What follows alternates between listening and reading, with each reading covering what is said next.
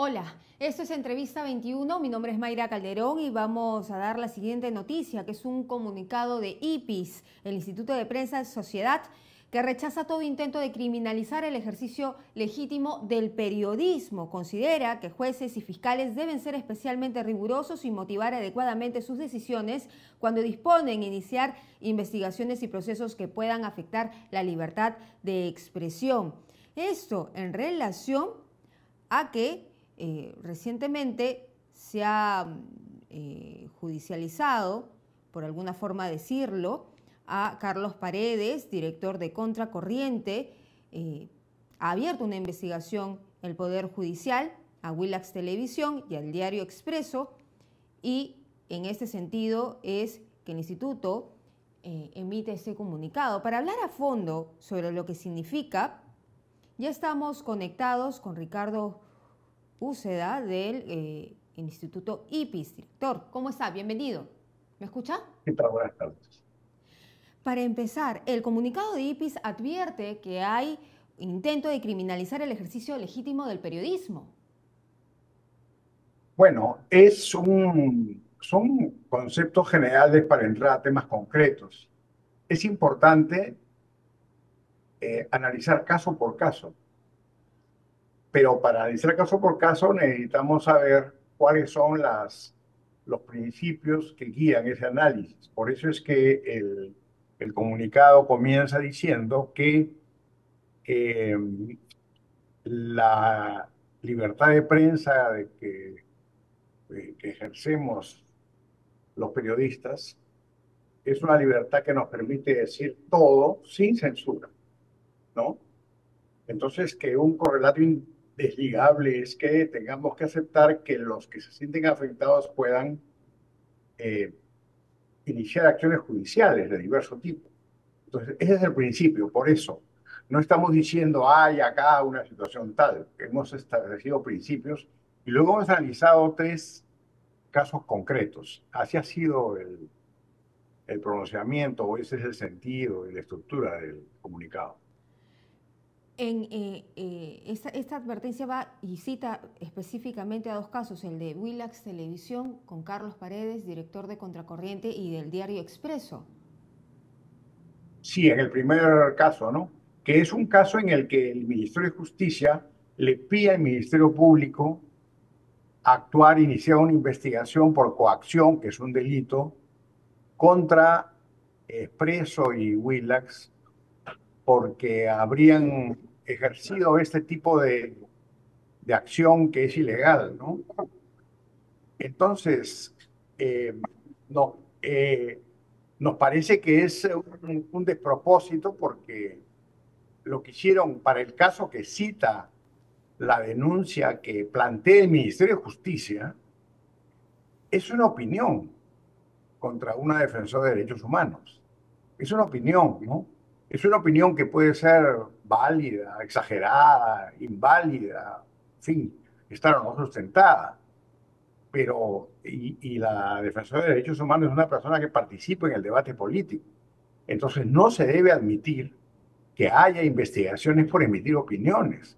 Opiniones que pueden ser subjetivas, incluso que pueden afectar profundamente a las personas que participan en el debate político. Pero bueno, entonces, por eso nos parece, pero eh, nos preocupa eso y hemos respondido porque lo ha sido el propio Ministerio de Justicia, ¿no? Sobre la base de que hay un marco jurídico para defender lo que está bien, ¿no? A, a los defensores de derechos humanos, dentro de los cuales están los defensores de periodistas, pero que no habilita que se pueda accionar penalmente contra quienes opinan este, contra alguien, ¿no? Es decir, los que aspiran en el debate político pueden, tienen que estar eh, preparados para recibir opiniones muy adversas, y hirientes.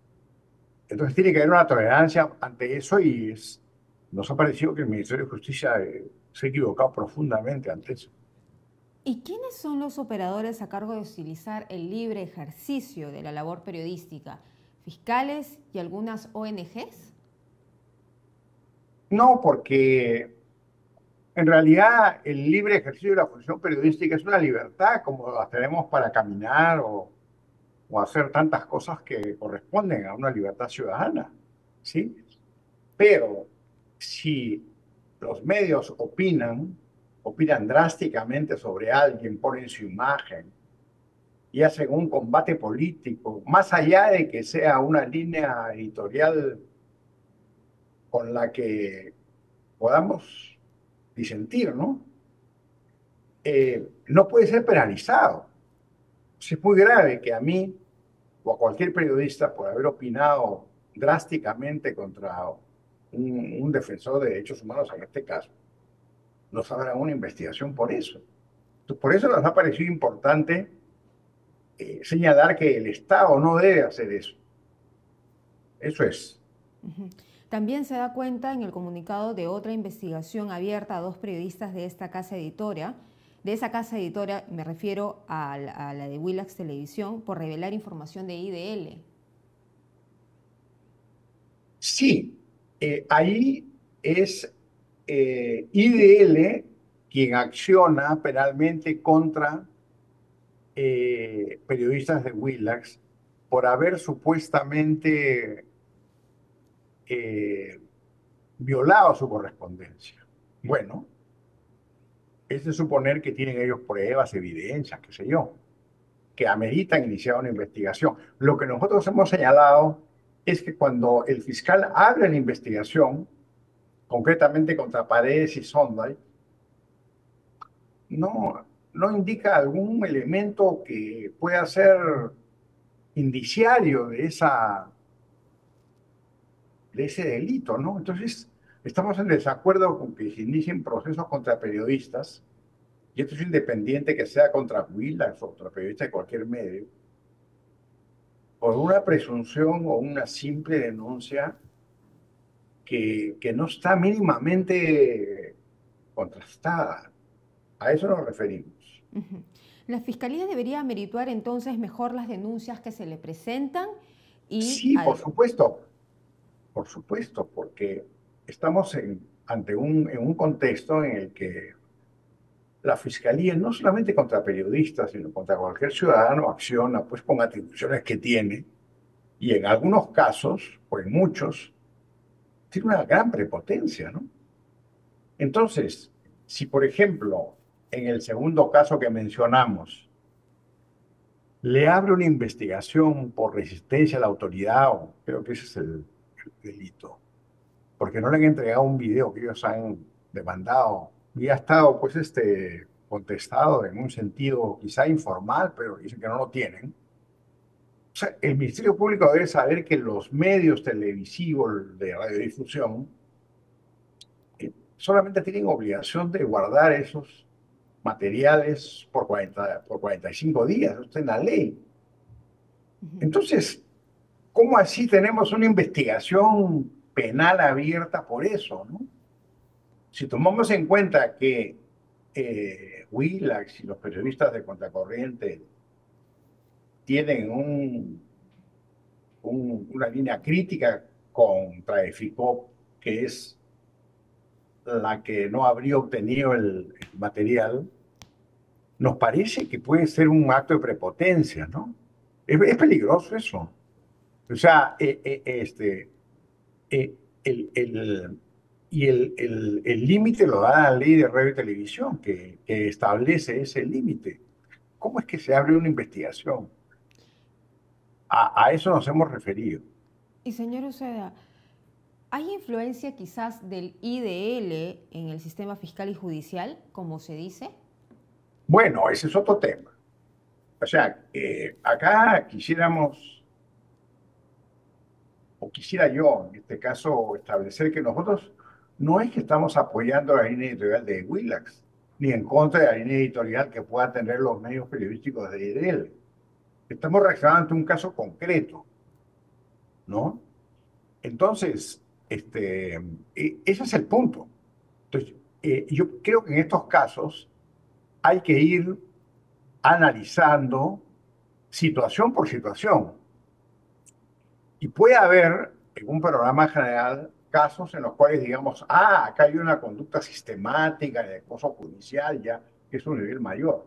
Entonces lo que usted me pregunta sobre si el IEL influencia o no en el, en el tema judicial, mire, probablemente, ¿no? Yo escribo bastante ya como periodista independiente y a mi cuenta sobre el sistema judicial. Yo no sé si influyo o no. Y si influyo, ¿eso es un delito? El tema acá es si estamos hablando de otro caso completamente distinto, que está en investigación, si esa actuación ha sido ilegal o no, ¿no? Entonces, quiero hacer ese distingo que no tiene que ver ni ha sido tocado por el comunicado del IPIS que hemos emitido hace unas horas. Muy bien. Muchísimas gracias, señor Uceda, por conectarse estos minutos con nosotros para aclarar el comunicado, el fondo del comunicado en realidad. Muchas gracias. Bien, quería decir que los periodistas tenemos que ser conscientes de que podemos ser denunciados, demandados. Esta es una profesión que cuanto se ejerce con más agresividad, agresividad digo no en términos violentos, sino con intensidad, pues va a tener muchos problemas, ¿no? Entonces tenemos que ser conscientes nosotros que eh, nos pueden denunciar de manera directa o indirecta, pero este, el Estado, sobre todo, que es contra quien nos hemos pronunciado, contra el Ministerio de Justicia y la Fiscalía, tienen que ser muy cuidadosos ante eso. Eso es. Muy bien, muchísimas gracias. Está lista la aclaración entonces. Muy amable. Bien, era entonces Ricardo Uceda, director de IPIS, que estaba con nosotros hablando sobre el comunicado que han emitido y ya aclaró los puntos del fondo de lo que han eh, pretendido establecer. Y básicamente es defender la libertad de expresión y sobre todo la labor eh, que se hace en ese sentido, la labor del periodismo. Regresamos con más información.